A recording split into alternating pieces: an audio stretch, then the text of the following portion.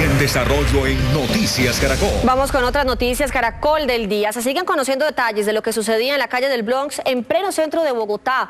Para los investigadores, hasta allí no solo llegaban los habitantes de la calle para consumir drogas, sino también personas de estratos altos. Tenemos reportes en vivo desde varios puntos de la ciudad. Empezamos con César Chaparro. ¿Qué detalles conoció César?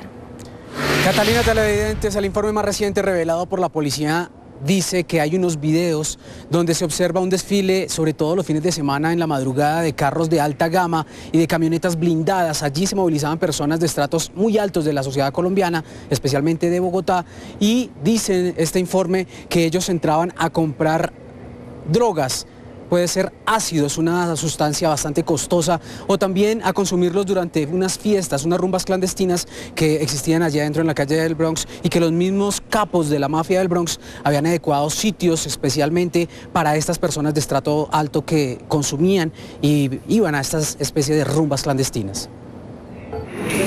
Un carro de alta gama llega a una de las entradas de la calle del Bronx en una madrugada de diciembre del año 2015 como lo muestra este video revelado por semana.com. La cámara de vigilancia de la policía graba cuando aparecen dos hombres. Uno de ellos se acerca al conductor, el otro, que se protege del frío con una cobija, se acerca a dos mujeres que descienden del lujoso vehículo.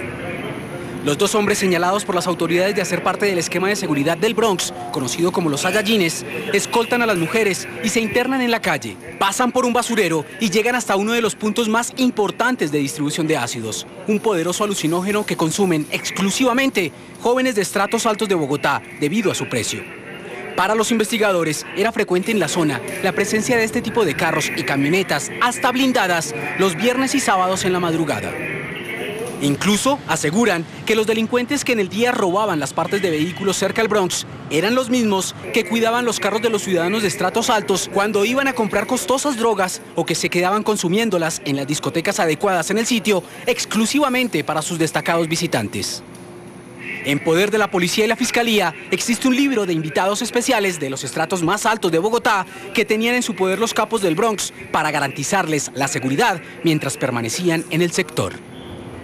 Y según la policía, los nombres que aparecen en este listado ya están en mira de las autoridades. Se abre una investigación para establecer cuál es la relación que tenían estas personas que aparecen en estos listados con los capos de la mafia allí en el Bronx. Desde el norte de Bogotá, César Chaparro Pinzón, Noticias Caracol. César, gracias.